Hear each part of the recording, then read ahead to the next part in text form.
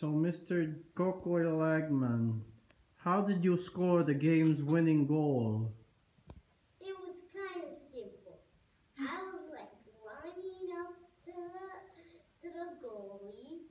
I shot it right when it was about to slide to me, and I made the goal. Oh, great.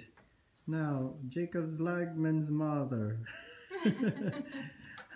what? I have to feed him a lot so he keeps his energy up. And his brother, James. What did you think of that goal?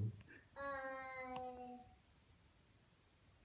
I I was running, and then I got That's the great. That's it. All right. Good job, guys.